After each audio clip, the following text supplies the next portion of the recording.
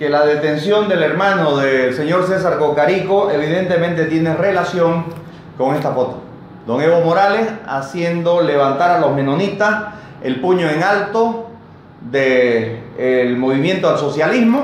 Entendemos que evidentemente eh, el hermano del señor eh, Cocarico hablaba en nombre de altas autoridades y tenía la protección y la seguridad, evidentemente, de solucionar supuestamente problemas de desmonte, dotación de tierras, como lo dice todo este, toda esta documentación a la que hemos accedido,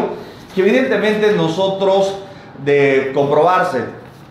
todo esto eh, vamos a exigir la renuncia de forma inmediata del ministro Cocarico, ya que en Santa Cruz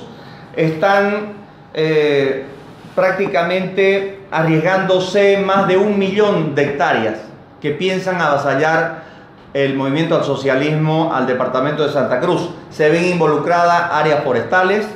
áreas protegidas y evidentemente lo vemos a don Evo Morales aquí, evidenciada, eh, estamos evidenciando de que existe un sistema extorsivo de parte del gobierno, de parte del movimiento al socialismo, a través de este tipo de corrupciones que ha generado el propio hermano del ministro. Aquí vemos obviamente pagos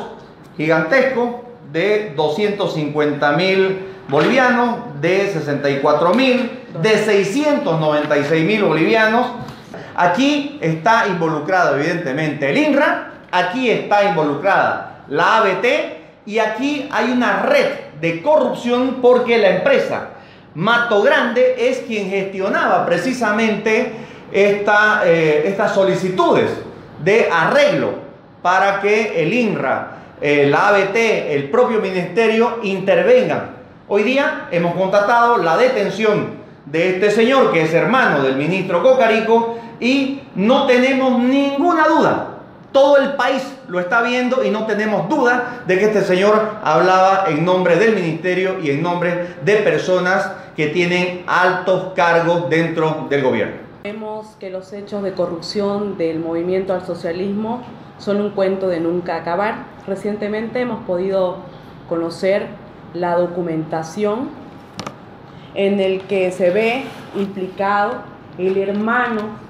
del ministro Cocarico.